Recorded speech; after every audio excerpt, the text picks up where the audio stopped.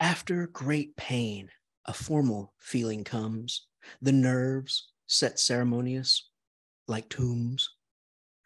The stiff heart questions Was it he that bore? And yesterday or centuries before? The feet, mechanical, go round a wooden way of ground or air or aught, regardless grown, a quartz contentment like a stone. This is the hour of lead, remembered if outlived, as freezing persons recollect the snow. First chill, then stupor, then the letting go. Oh my goodness. This is having your heart broken. This is having your heart broken. And I want to just highlight this and, and spend a moment with it because she did in three stanzas what is hard to communicate in any any language of any type, of any length, right? Three small stanzas. After great pain, a formal feeling comes. formal feeling. Formal feeling.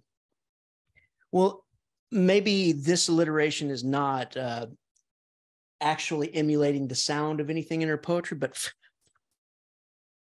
that's not that's not happy. It's not happy. Formal. What what's down? What starts with F? Mm, okay, the F word. Uh, okay, so a formal feeling comes. What is a formal? Formal is like very, you know, you're in the military. You're uh, right. You're formally. You're standing there formally at attention. It's very formal. What what is a formal dance? You wear your formal dress man. You're in a tuxedo if you're a dude or if you're a woman you're in you're in whatever and that kind of swap. Anybody can wear anything they want right? But but uh there's tuxedos and there's formal dresses right? After great pain. Now this is after your heart is broken. This is not the moment of heartbreak. This is after heart your heart is broken remember i said many times i said um you know if you have never had your heart broken you should try it That's terrible. Why? Not because I, am some masochist and I want you to feel pain, but because it's one of the seminal experiences of life, right? It is as if someone reached into your chest and pulled out your heart and took a bite of it and spat it out and put it on the ground and then watched you wiggle and squirm. It's just as if your soul is reached, just wrenched from your body and just is right up here looking at you, you know, and you're just, it's terrible. It's horrible. It's the worst thing ever to have your heart broken. You, you don't, you won't, you don't die from it, but you want to. And it lasts lifetimes. It lasts lifetimes. At my mother, at my mother's funeral, my father, who had been divorced from her for 30 years, over 30 years, sat down and cried. I've never seen the man cry in my life. He cried and he cried and he cried. After a great pain, a formal feeling comes. The nerves set ceremonious, like tombs. Notice the slant rhyme comes, tombs. What about the nerves? The nerves, the nerves are like your inner electrical signals, but they're like your inner people maybe. But the nerves sit ceremonious. They are sitting as is as if at a ceremony. Very formal like very proper very up very erect up straight uh, straight up and down you know. The nerves sit in a ceremony sit ceremonious like tombs. But wait dickinson what? Like tombs? What? The nerves sit like tombs wow. So there's this word association like to have your heart broken is is is to die. A part of you dies. And is maybe deposited in a tomb. The stiff heart now your heart has become stiff. Stiff. Think about your heart stiff. Think about someone who is jaded about life a, a misanthrope who hates all humans.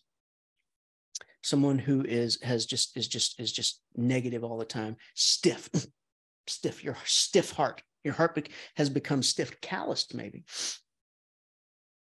Your stiff heart questions was it he that bore?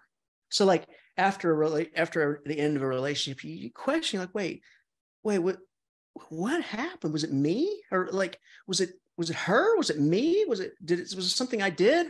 Could I have done better? I mean, what does, uh, so she says, the stiff heart questions, was it he that bore?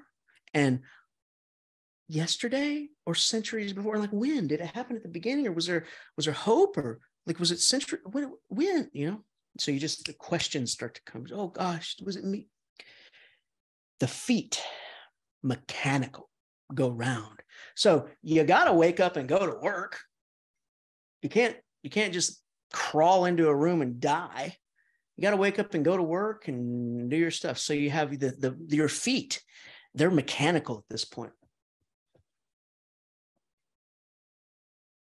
You are seriously walking around just going through the motions. They're mechanical. They go round a wooden way a wooden way. Okay, it's like a a a, a sidewalk of wood. A wooden way. You feel wooden, don't you? You feel like a puppet.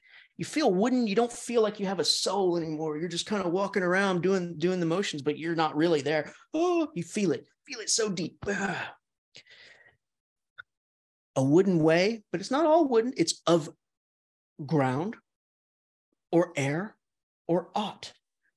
Whoa. So it's a wooden way of ground. It might be ground, dirt, but it might be air. Might as well be air. You don't even know where you're walking or ought. What is ought? Like, like you, you ought to have done this. I ought to have done this. I ought to have done this, that is the regrets. Oh, I, I ought to have, I ought to. A quartz comment, a quartz contentment like stone.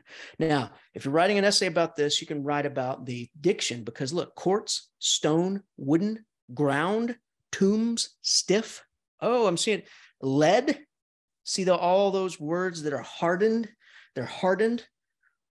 They are inanimate, not living, hardened. That's what you are after great pain. You're hardened. You're like stone. This is the hour of lead. You feel like lead. And, and this is after the crying. This is after the moaning and the screaming and all that kind of stuff. This is this is after great pain. When the formal feeling comes, it's a feeling of lead. This is the hour of lead when you become lead and remembered, if outlived, if outlived. You may not outlive it, she says. Wow. Remembered if outlived. As freezing persons recollect the snow. First chill, then stupor, then the letting go. wow.